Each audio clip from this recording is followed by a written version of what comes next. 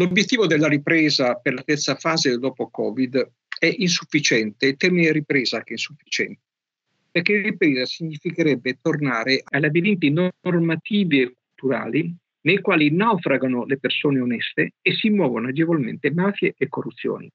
Significherebbe annaspare e quindi cedere il passo a paesi orientati da tutt'altro genere di valori, visto che la competitività internazionale sarà eh, senza freni e, e con qualche crudeltà. Serve invece una nuova nascita, una nuova nascita, una spinta anche ideale che valorizzi le capacità di fare, costruire e studiare e che dia perciò un grande obiettivo al Paese. Non si tratta solo di cose tecniche, si tratta anche di spinte di carattere morale, etico, valoriale. Ecco, per questo serve fiducia. Per questo serve fiducia. Lo dico perché noi siamo angosciati da una legislazione che è basata sul controllo, sulla sorveglianza e sulla sfiducia dei cittadini e degli imprenditori. Che cosa bisogna fare? Beh, innanzitutto teniamo presente che i cantieri non si sbloccheranno, altro che semplificazione. La, I contratti pubblici non andranno avanti finché i funzionari pubblici non avranno certezza sui confini delle loro responsabilità penali. Più del 50% delle inchieste per abusi di ufficio si chiude con un proscioglimento o con una soluzione.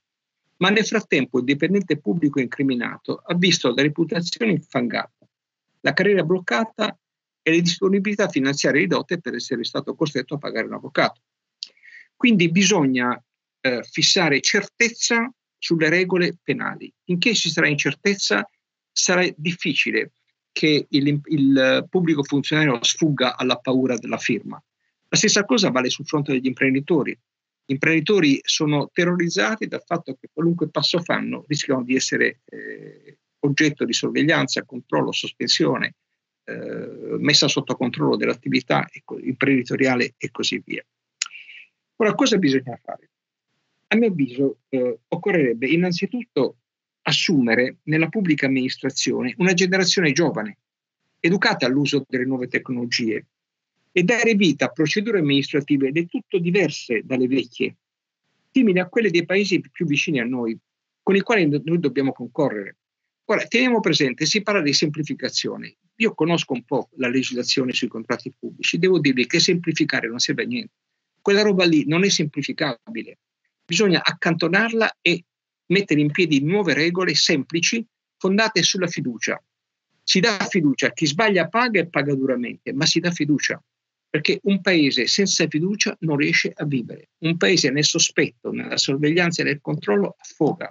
Questo è il punto di fondo, questo è il cambiamento, questo è il valore ideale nuovo che deve muovere lo Stato, il governo, i poteri pubblici nei confronti dei cittadini e degli imprenditori. Fiducia innanzitutto.